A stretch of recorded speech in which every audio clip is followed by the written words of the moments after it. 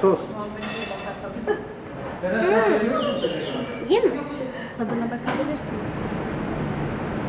Bir boyanın yani yenmesi ve yeniden dönüştürülmesi çok güzel bir şey.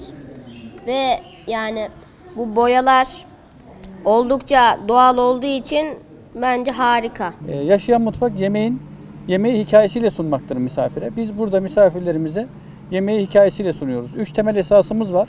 Bunlardan bir tanesi misafire dokunmak, sürdürülebilir turizm ve sıfır atık.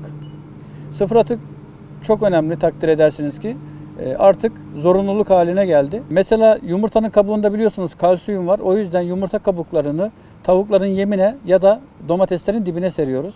Çay kahve posasında fosfor var bildiğiniz gibi. Kompost alanına ata tohumlarından gübre alanımıza götürüyoruz. Şeflerimiz mutfakta çalışırken artan meyve sebze parçalarından soslar, püreler yapıyoruz doğal. Ve bunlara boya ve tat aktivitesi diyoruz. Misafirlerimiz tabaklarına resim yapıyorlar. Doğal soslardan, pürelerden resim yapıyorlar.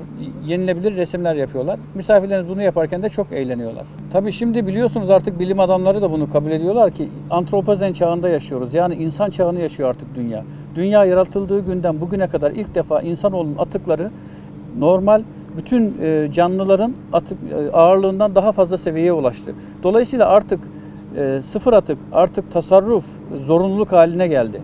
Herkesin yapması gereken enerji tasarrufu, zaman tasarrufu, gıda tasarrufu, e, kaynakların tasarrufu her şey çok önemli e, bir seviyeye geldi. Dolayısıyla ata tohumlarından e, kullanmak, bunları yaygınlaştırmak, gerçekten yeteri kadar üretmek, yetecek kadar tüketmek e, çok önem önem arz ediyor.